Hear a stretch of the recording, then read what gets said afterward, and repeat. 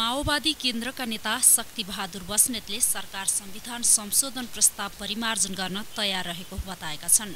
नेता बस्नेतले संशोधन प्रस्तावलाई परिमार्जन गरेर भए पनि एमालेलाई सहमतिमा ल्याउनु पर्ने बताएका छन्। देश अहिले गम्भीर मोडमा पुगेकाले पार्टीगत अडान भन्दा पनि संविधान कार्यान्वयनतर्फ सबै केन्द्रित हुनुपर्ने उनको भनाइ छ। यो जनताका असमझदारीहरूको समाधान कसरी गर्ने राज्यले मुख्य राजनैतिक पार्टीहरूले विशेष जिम्मेवारी पूर्ण ढङ्गले सोच्नुपर्ने असमझदारीहरू छन् अथवा विमतिहरू छन् ती विमतिहरूबाट असमझदारीहरूको जिम्मेवारी पूर्ण ढङ्गले समाधान गर्ने ताकि राष्ट्रलाई एकताबद्ध समग्रमा राष्ट्र एकताबद्ध हुन राष्ट्रलाई अखण्डित बनाउन पनि सकियोस् उनले संविधानको स्वीकार्यता बढाउन नै सरकारले संविधान संशोधन प्रस्ताव ल्याएको दावी गरेका छन्। रातोपाटी।